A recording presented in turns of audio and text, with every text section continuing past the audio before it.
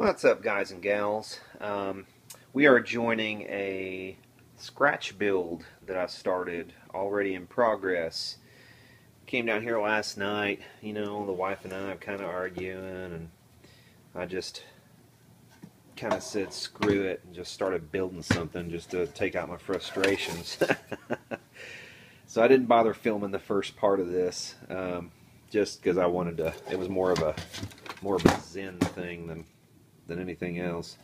Um, but you can see what I've got going here. This is basically going to be a 6SL7 preamp tube uh, into a 6V6 single-ended output, um, 5Y3 rectifier back over here. I dug up these transformers that I already had in my transformer stash. These aren't going to be used. This is just this was already on the chassis. Um, this chassis was a used chassis and it just had some extra holes in it, so I'm just using what's what's here.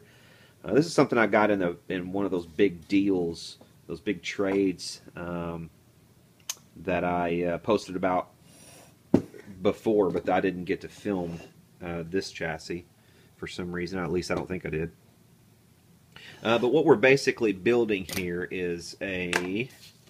Let's see. Let's look at the schematic we are building a uh, about a 19, an early 1950s Valco Spectator. Um, the Valco or Supro Spectator, um, as it was sometimes labeled, um, is a pretty simple amp. It's kind of uh, Fender Champish, um, but uh, I'm going instead of just you know digging up an old Champ schematic, I'm going with this because I've got one of these actually right now and uh, I was just screwing around with it and servicing it and you will see the service video for that as well I'm sure. Uh, if, if it's not already up it'll probably be up soon. I'm just waiting on a handle for it and it should be completed. Um, but uh, and actually you know I'll, I'll, post a link up here too uh, up in this part of the video if you want to click on that and it'll should open in another window. You can watch that one after this video. But um, sounded great you know, and I've had some spectators in the past as well, and they're killer sounding little amps, man. So and I just kind of got inspired. I said, "What the hell, man? They, these look pretty simple." Um, and I've got all the stuff. Lord knows, I've got enough stuff to scratch build an amp. So, you know, wife yells at you. What are you gonna do? But uh, lock yourself away for a little while and scratch build something. Um, one of the things that I was kind of proud of is I had most of these parts already on hand, or I had all these parts already on hand, so I don't have to buy anything. Um, and a lot of this stuff is um, either came to me really cheaply um, or was used. Uh, for instance, uh, this this is a very odd input jack. Check out this input jack. This is something, I mean, this was new old stock, and I found it in one of the drawers from one of those trades I did recently. And look at this thing. This is weird. It's just like a plate. And then you've got, it's actually a grounded jack. Um, and when you plug in, it pushes this down and ungrounds it. What a weird design. Then you have two terminals down here underneath. So that's really weird. And then this plate serves as a ground terminal. So very cool jack. I just had to use that. I found a couple of those um, in my stash and just said, what the hell, I'm going to use that for the hell of it. Um, I'm going to use a switch um, on the uh, on the volume pot. We've got a 500K, and this volume pot is a 1 meg. And there's a couple of things that aren't going to be exactly like this schematic. For instance, you know, this volume pot is 1 meg. I might as well go ahead and mark that. Let's see. So this, yeah, I was changing to 1 meg. Um, and also there was one other thing down here I forgot to mark last night when I came down down and started doing this. This one is a 5500 ohm rather than a 6800. The exam, the uh, spectator example that I had sounded really great, and um, the resistor that was in it was supposed to be a 6800, but it was reading like 40, I don't know, 42 or 47, something like that.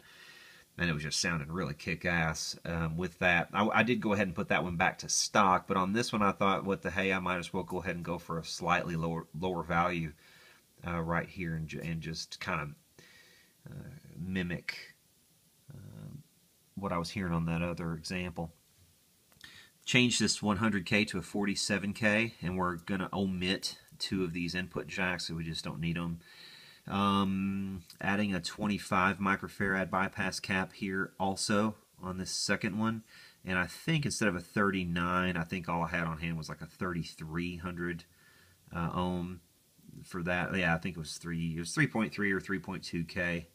That's what I put here instead of the 39. So, you know, I got close on most of these values. Like the, these here as a 220 instead of a 270. I just didn't have 270s on hand. So I'm going with the 220s. This one I'm upping the value to a 470K. Um, here I'm going with a 300. So just some little things like that, little tweaks. Um, but overall, it's going to be basically, um, you know, a Supro Spectator. But we will see how it goes. I'm going to go ahead probably here and um, uh, finish this out tonight. Um, get a. We also have a box to put it in. I'll show you that as well. Some of you may recognize this little record player box from a previous conversion video where I uh, took the record player amplifier out and made a, a little cigar box amp out of it. Uh, well, here's the uh, box that was left over, and uh, as you can see, I've got $10 in it. And uh, certainly got our $10 worth out of the amplifier, but uh, let's see if we can squeeze a little bit more out of the out of this by using the box. Also, the box, as you'll recall probably, was mostly wood. Um, the back and top are more or less like a glorified cardboard. Um, but just for the heck of it, to have something to put this amp in for, uh, for the moment, it looks like it's going to fit fairly nicely. So we're going to try to use this as our little amplifier box. We also have a, uh, a C69R Jensen speaker from 1962. Uh, this came out of uh, some kind of Hammond cabinet or Leslie cabinet, I believe, and uh, great speaker. Sounds sounds really good, and um, we are going to use this, uh, install it in the box, and uh, also our amplifier, and see uh, see what how this works out.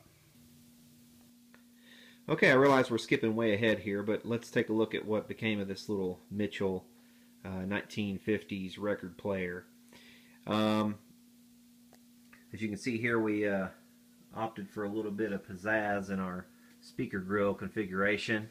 Um, it was a 6x9 speaker that I had available. Um, so instead of just doing an oval or instead of doing, uh, you know, just a circle, uh, opted to do a three circle scheme. So I cut three circles and these little half moons I cut separately and then just flipped the half moon around and glued and reinforced it back in from behind so they can't move.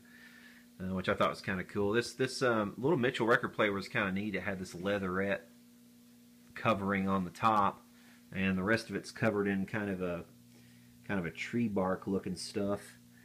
Um, here's our chassis. It, it, this was an aluminum chassis. Uh, I may have discussed this earlier in the video. It's been a little while since I've filmed, filmed the first part of this. but this was an aluminum chassis that I got uh, in one of those large deals. Uh, so that worked out perfectly where the um, the old speaker used to sit in the record player.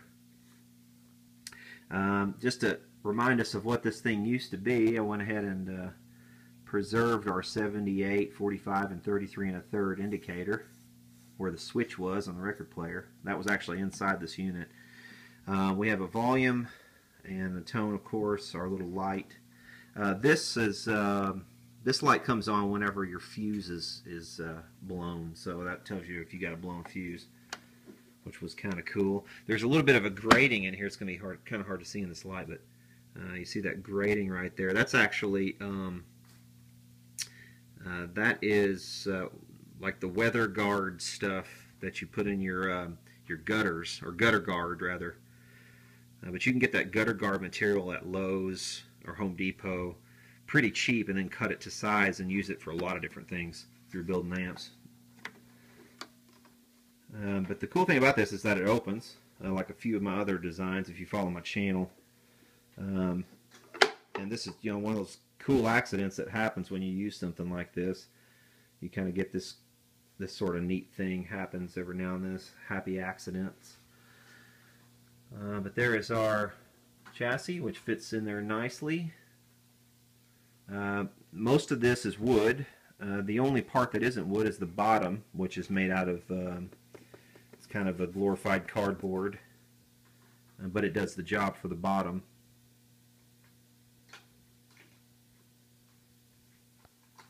Uh, the baffle up here actually is, is real wood, so that's nice. This speaker I end up using is a C69R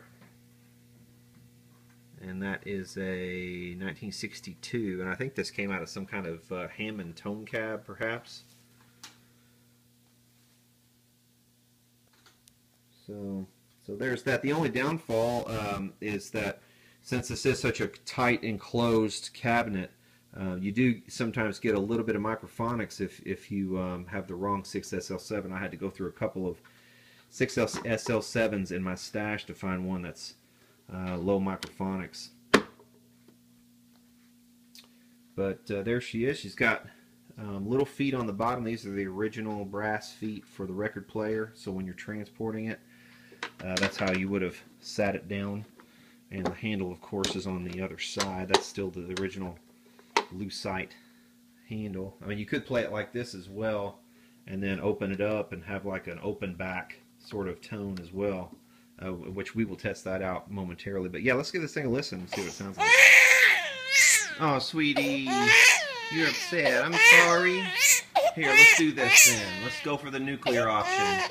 Alright, you ready? Oh, sweetheart, I know. I know. Oh. Here it comes. Here it comes.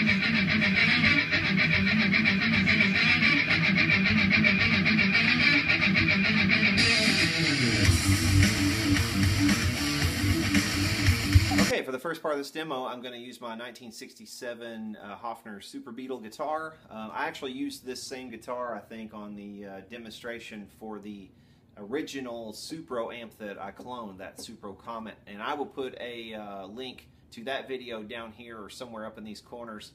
Um, if you have your notes turned on um, in Google, you should be able to see those. Um, but I'll, I'll post a link for that. But yeah, let's give this thing a listen, and see what it sounds like.